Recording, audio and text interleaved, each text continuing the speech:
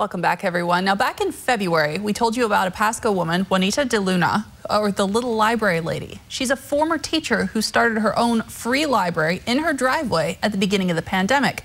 Well, today, KAPP-KVEW's Ellie Nakamoto White caught up with her about a letter that she got from the neighborhood's HOA ordering her to take that library down a year and a half after the fact.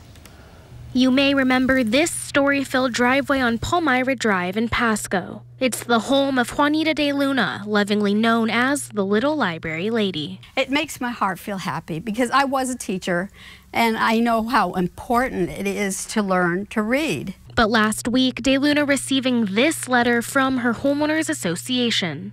Generally unsightly, it was noted that you had a bunch of books in your library. If you haven't already, please remove them from common area view. If you've already removed them, please disregard this notice. I got that letter. I got back with them and I said, why? It's, it's a real benefit to the neighborhood. Now the community is coming together defending De Luna. For them just to assume that that was just an eyesore, it was an eyesore. It was a God blessing for all our kids. Per the HOA, she can put up a library stand instead, something that'll cost nearly $700. We are collecting money to pay for that. We're not going to let her pay for that.